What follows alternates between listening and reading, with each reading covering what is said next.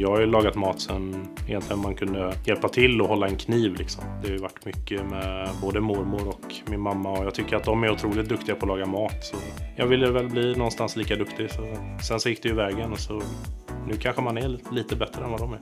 Jag är ganska lugn. Börjar man stressa i sitt arbete så blir det oftast fel. Var stresstålig liksom. Det krävs i det här yrket. Jag jobbar med otroligt duktiga kollegor nu och man ser ju upp till dem liksom.